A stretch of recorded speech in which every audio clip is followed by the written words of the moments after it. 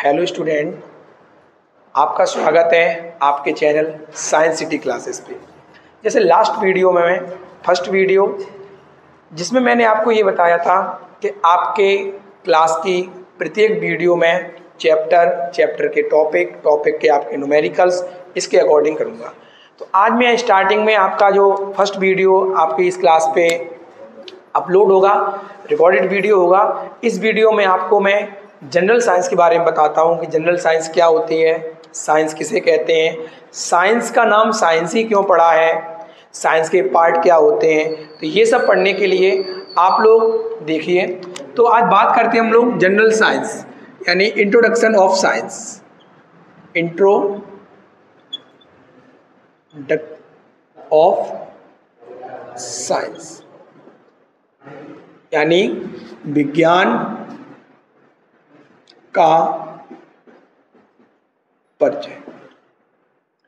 सबसे पहले बात करते हैं कि ये जो साइंस को हम लोग विज्ञान जो है, विज्ञान यानी साइंस। विज्ञान किसे कहते हैं? विज्ञान होता क्या है? इसका जो नेम है वो साइंस क्यों पड़ा हुआ है? साइंस का ही नाम क्यों दिया गया है? और भी नाम दे सकते थे यहाँ पे। तो एक शब्द होता है जिसका नाम है सिनीटिया। सिनीटिया। सिनीटिया का मतलब होता है अपने चारों ओर उपस्थित वस्तुओं का ज्ञान। ज्ञान का मतलब अपने चारों ओर उपस्थित। जैसे हम अपने चारों ओर जो भी देखते हैं तो उसके बारे में हम जानकारी प्राप्त करते हैं। उसी को हम लोग कहते हैं विज्ञान। विज्ञान का मतलब क्या है? विस्तृत ज्ञान। जैसे यदि मैं इस विज्ञान के, विज्ञान विज्ञान को दो शब्दों में हमने बांटा है, जैसे वी और ज्ञान। वी का मतलब होता है विस्तृत रूप से और ज्ञान का मतलब होता है जानना। जड़ हमारे चारों तरफ़ जो भी हमें दिखाई दे, जो भी हमें कोई भी पदार्थ या कोई भी वस्तु जिसके बारे में हम विस्तृत रूप से जानकारी प्राप्त करते हैं, उसी को हम लोग कहते हैं विज्ञान। विज्ञान का सीधा सा मतलब ये है, अगर आपसे कोई पूछता है विज्ञान क्या है या विज्ञान किसे कहते हैं तो आप तुरंत बता सकते हो, विज्ञान विज्ञान का मतलब है अपने चार ओर उपस्थित वस्तुओं के बारे में जानकारी करना या जो भी वस्तुएँ हमें दिखाई देती हैं उनके बारे में जानकारी करना। इसी को हम लोग कहते हैं विज्ञान। अब बात करते हैं विज्ञान का जो पार्ट है, जैसे नाइन्थ और टेंथ क्लास में हम साइंस का पूरा जो बुक है, उस बुक में से फिजिक्स केमिस्ट्री बायोलॉजी यानी साइंस का जो पार्ट बताया गया है साइंस साइंस को तीन पार्टों में हम लोग पढ़ते हैं physics chemistry and biology and biology physics जो हमारी होती है और केमिस्ट्री होती है, इसका एक नाम हम लोग देते हैं, जिसको बोला जाता है नॉन लिविंग यानी non living non living things के बारे में जो पढ़ते हैं, जैसे फिजिक्स है हमारी केमिस्ट्री है। हम बात करते हैं बायोलॉजी के बारे में। बायोलॉजी क्या है? कि लिविंग थिंग्स के बारे में हम बात करें। किसके बारे में बात करें? लिविंग थिंग्स के बारे में बात करें। तो हमसे अगर कोई पूछता है कि साइंस का जो पार्ट है, वो क्या है हमारा? एक फिजिक्स है केमिस्ट्री है बायोलॉजी है। ये हमें पढ़ना होगा। जैसे आपको बताएँ, आप लोग स्टार्टिंग से जो भी स्टार्टअप होता है हमारा तो हम यहाँ पे बात कर रहे थे साइंस के बारे में। साइंस क्या है? यानी विज्ञान। तो विज्ञान को तीन पार्ट्स में बताया गया है। फ़र्स्ट पार्ट हमारा है, जिसको हम लोग बोलते हैं फिजिक्स सेकंड पार्ट हमारा है, जिसको हम लोग बोलते हैं केमिस्ट्री थर्ड पार्ट हमारा है, जिसको बोलते हैं बायोलॉजी बायोलॉजी फिजिक्स को भौतिक विज्ञान केमिस्ट्री रसायन विज्ञान रसायन विज्ञान बायोलॉजी जीव विज्ञान। साइंस की कई ब्रांचेस हैं बट जो हमारा जो सिलेबस है नाइन्थ टेंथ क्लास का सिलेबस है, इस सिलेबस में हम फिजिक्स केमिस्ट्री बायोलॉजी पार्ट्स पढ़ते हैं। सबसे पहले बात करते हैं हम फिजिक्स के बारे में। फिजिक्स क्या है? या भौतिक विज्ञान किसे कहते हैं? भौतिक विज्ञान होती क्या है? भौतिक विज्ञान, जिसको बोलते हैं फिजिक्स। हमसे पूछता है भौतिक विज्ञान क्या है या भौतिक विज्ञान किसे कहते हैं? देखिए, फिजिक्स को हम प्राकृतिक विज्ञान भी कहते हैं। इसका रीजन क्या है? यानी विज्ञान की एक ऐसी ब्रांचेस है। ये फिजिक्स जो हमारी है, विज्ञान की एक ऐसी ब्रांचेस है, जिसके अंतर्गत अपने आसपास चारों ओर जैसे प्राकृतिक घटना है। जैसे बात करें हम, आपने देखा होगा, बारिश का होना, सुबह और शाम के समय सूर्य का लाल होना तो ये सब कहाँ से आता है? ये जो भी हम टॉपिक पढ़ते हैं, वो फिजिक्स में पढ़ते हैं। तो कोई पूछता है हमसे फिजिक्स क्या है? तो फिजिक्स में बेटा बताते हैं, विज्ञान की वह शाखा वह शाखा, जिसके अंतर्गत जिसके अंतर्गत प्राकृतिक घटनाएँ प्राकृतिक घटनाएँ दैनिक घटनाएँ। दैनिक घटनाएँ। ऊर्जा इत्यादि के बारे में अध्ययन किया जाता है। किया जाता है। उसे भौतिक विज्ञान कहते हैं। विज्ञान की वह शाखा जिसके अंतर्गत प्राकृतिक घटनाएँ, दैनिक घटनाएँ, ऊर्जा इत्यादि के बारे में अध्ययन किया जाता है, उसे भौतिक विज्ञान कहते हैं। जैसे प्राकृतिक घटनाओं के बारे में बात करें। आपने देखा होगा कि बारिश का होना, दैनिक घटनाओं के बारे में बात करें, जैसे दिन, रात का होना सुबह के समय आप लोग ने देखा होगा कि सूर्य रक्ताप दिखाई देता, लाल दिखाई देता है, शाम के समय लाल दिखाई देता, लेकिन दिन में नहीं दिखाई देता इतना। आपने देखा होगा आसमान का रंग नीला होना। बारिश के समय आपने देखा होगा कि आकाश में सात रंगों का एक हमें समूह दिखाई देता है। ये सब जो भी घटनाएँ हैं, वो सभी हम फिजिक्स में पढ़ते हैं। सेकंड केमिस्ट्री जिसे बोलेंगे रसायन विज्ञान। केमिस्ट्री केमिस्ट्री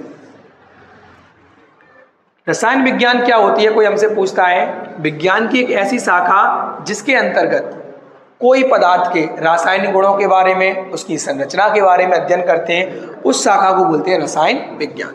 यानी विज्ञान की वह शाखा जिसके अंतर्गत पदार्थों के रासायनिक गुण तथा उनकी संरचनाओं इत्यादि के बारे में, इत्यादि के बारे में अध्ययन किया जाता है, उसे रसायन विज्ञान कहते हैं। जैसे एग्ज़ाम्पल की बात करें जैसे पानी। पानी का अर्शुद्ध क्या होता है? एच टू तो हमने देखा है पानी किससे मिला है? हाइड्रोजन और ऑक्सीजन के मिश्रण से। या हमने लिया नमक एल तो नमक किससे मिला है? सोडियम और क्लोरीन से। तो ये जो हम किसी भी पदार्थ के बारे में उसके भौतिक गुणों के बारे में रासायनिक गुणों के बारे में उसकी संरचना के बारे में कि उस, उसकी संरचना किस प्रकार की है इत्यादि के बारे में अध्ययन करते हैं। उस विज्ञान की शाखा को कहते हैं रसायन विज्ञान। नंबर थर्ड आता है हमारा जीव विज्ञान। जीव विज्ञान।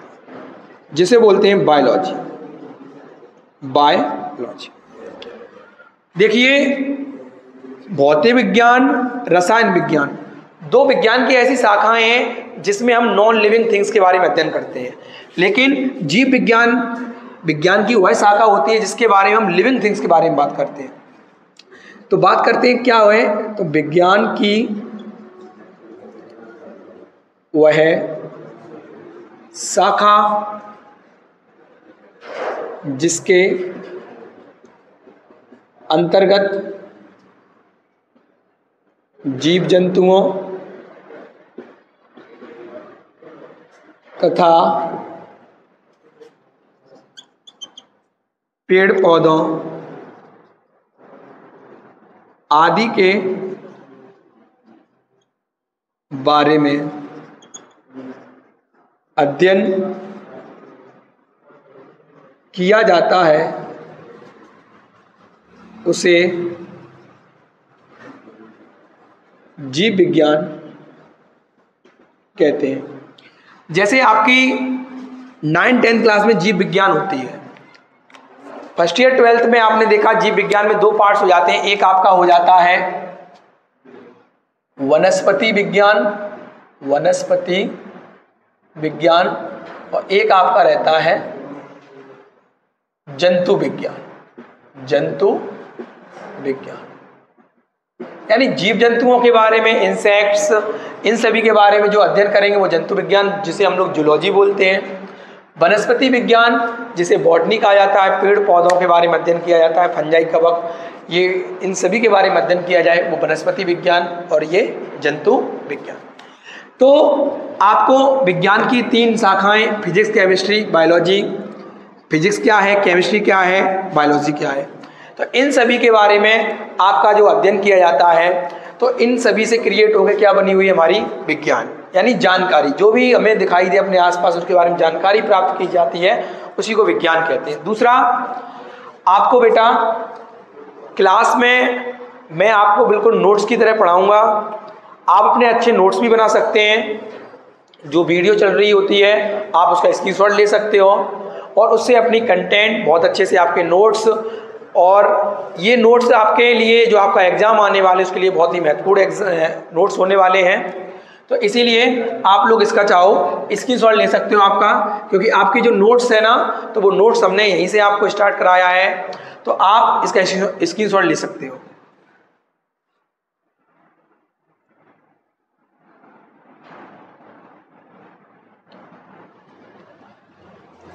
तो बच्चों, आपने, आज हमने विज्ञान के बारे में, विज्ञान की जनरल इंट्रोडक्शन के बारे में, आपको फिजिक्स क्या है केमिस्ट्री क्या है बायोलॉजी क्या है, इन सभी के बारे में बताया। आगे बात करते हैं, जिस प्रकार से,